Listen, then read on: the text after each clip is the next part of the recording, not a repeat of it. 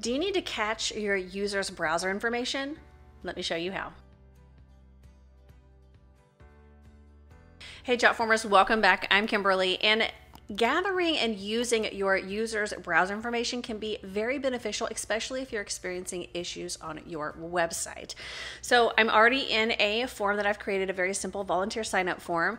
And in order to do this, we are going to utilize the hidden box widget. So over on the left-hand side, I'm gonna choose to add a form element. We're going to choose widgets. We're going to search for hidden, hidden box.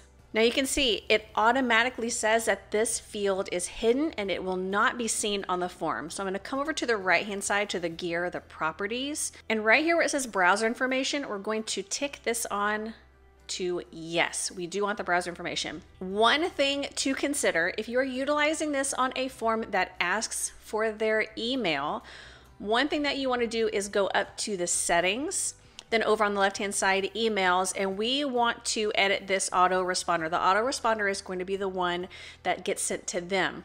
So we want to remove their browser information from that autoresponder email. So I'm just going to go ahead and remove this one. Perfect. We'll go to save. Now, let's give this a test. I'm going to go up to publish. Let's open in a new tab. And let me fill this out real quick. And let me choose a date and then submit.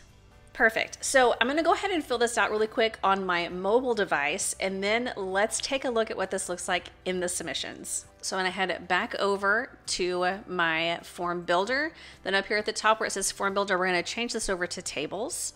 And we can see we have the two submissions that I just did. So over on the far right hand side, we see our hidden box. So this first one right here, if we click on it and open up, we can see all the information about my device. We can see that I was using Chrome on a Mac. We get to see the device was a laptop, the language was English, we get the resolution, the time zone, the agent. We get all kinds of information from utilizing this widget.